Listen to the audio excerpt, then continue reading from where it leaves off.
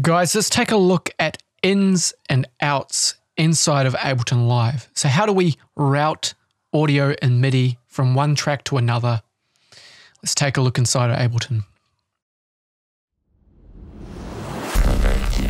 I've got everything set up here in front of me so that I can give you a demonstration. Okay. So, when we were talking about recording audio, we talked about how to get audio into Ableton. So we don't need to cover that again. You should watch that video. But here, we're going to talk about the internal routing of Ableton. And we're talking about sending audio from one track to another if we need to for whatever reason. And many reasons could be um, due to uh, wanting to have a whole heap of audio all go into one channel to be processed together, or to have one MIDI signal trigger sounds on many different channels. The possibilities really become endless as you start to build your music production knowledge. So, we'll start at the top with the most simple way to route audio, in my opinion. So, I've got audio one this audio track, and I've got a synth on it that sounds like this.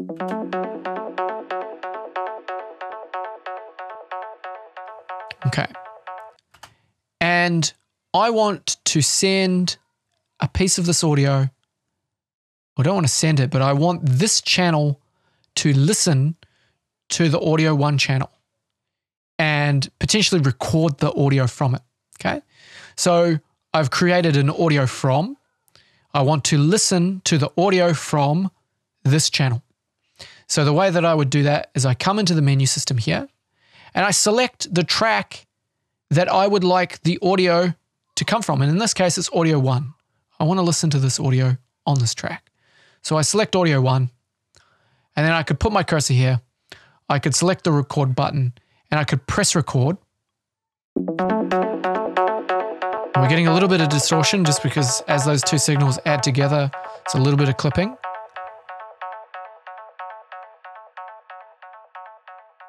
But you can see that I've just recorded out that audio again, okay? And if I solo this and just listen to it, we hear the audio as it is right here, okay? It's essentially identical. And when you add them together, unfortunately, like we heard just before, they distort because they're adding together and that volume is increasing to a point where we're digitally clipping. So that's the simplest way that we can route audio. So we just make a new channel and we say, I want you to listen to the audio from Audio One or any of these other channels. Okay. There's other ways to do it. So I've got this synth here. And I'm sending the audio to another channel. Okay. So instead of using the input here, I'm using the output. So I can say that the audio goes from this channel out into audio 2. And if you go ahead and press play, we could hear that when we solo it, the audio is coming from this channel, even though there's nothing on it.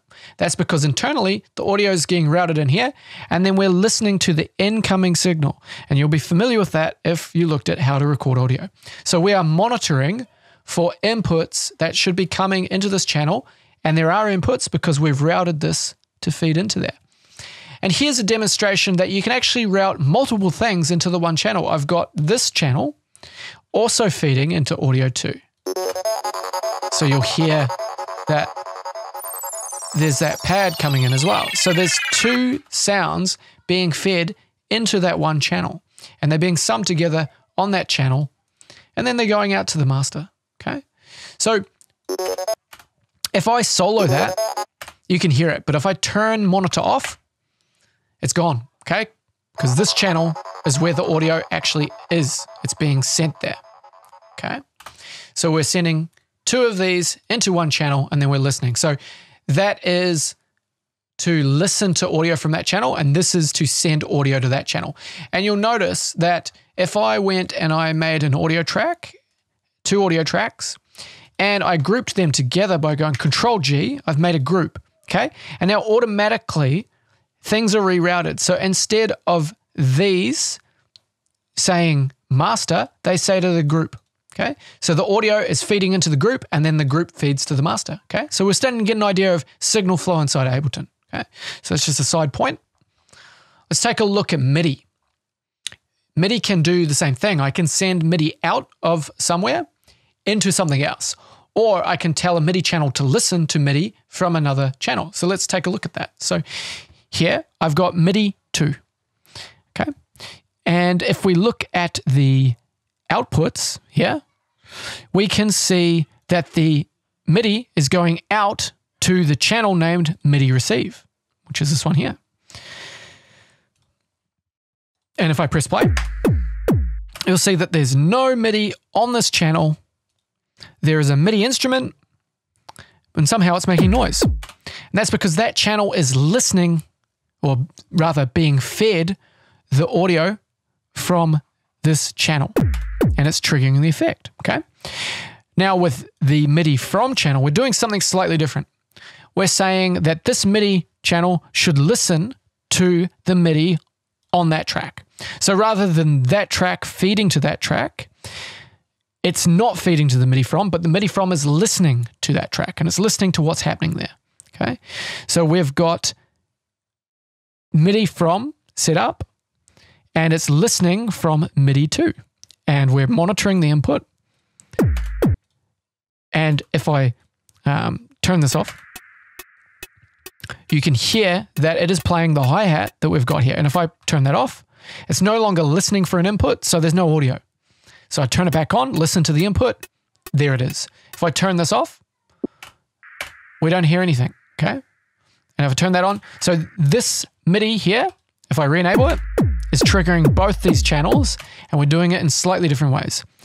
This channel is routed so that it is sending the audio into this MIDI track, and this channel is set up so that it's listening to MIDI from that track. Okay, so these are the ways that we can route audio and MIDI inside of Ableton Live. And then if we wanted to go out altogether, I could say that I want the MIDI to output to my Komplete Kontrol instrument. Okay. So if I had a synthesizer, for example, and it was correctly set up and configured into Ableton Live, I could actually send these MIDI signals out into an external device. Okay. And I can select whichever channel I want it to go into on the device. Let's just say channel one would be what I'd set. And then that MIDI signal would shoot out of Ableton into another device. And you'll notice that this channel no longer is playing because I've just changed the routing. Now it's being fed out.